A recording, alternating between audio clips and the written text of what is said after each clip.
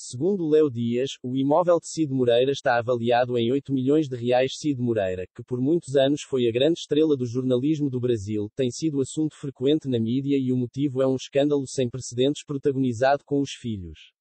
Acontece que existem uma grande guerra por causa de dinheiro e um barraco à atual esposa do apresentador, Fátima Sampaio.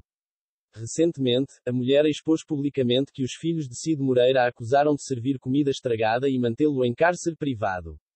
Porém, a confusão não parou nisso. O colunista Léo Dias, do Metrópolis, conseguiu novas informações do processo que a defesa de Roger e Rodrigo Moreira movem contra a madrasta.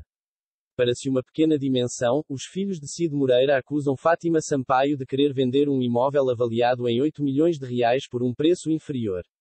A intenção da mulher, segundo Roger e Rodrigo, é de se livrar de tudo que o jornalista tem em seu nome, tudo para não dividir a herança com os herdeiros do marido. Ao que parece, Fátima Sampaio estaria pedindo 50% do valor à vista do imóvel e o restante em permuta. Em processos antigos, os filhos de Cid Moreira alegaram que a madrasta proíbe o marido de manter contato com amigos e família, mantendo-o em cárcere privado. Eles pedem à justiça que os tornem tutores legais do pai. Jornalista é acusador de deserdar os filhos. Vale lembrar que a confusão teve início quando um dos filhos de Cid Moreira concedeu entrevista para o quadro Hora da Venenosa, da Record, onde acusa o famoso de ter sido deserdado e tirado do testamento. Mas, a lei brasileira é clara e não permite que os pais deserdem os filhos. Por isso, Roger entrou na justiça alegando abandono afetivo por parte do homem famoso.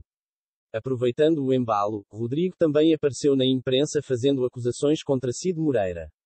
Ele também alegou nunca ter recebido o afeto do pai e pediu uma indenização de 1 milhões de reais.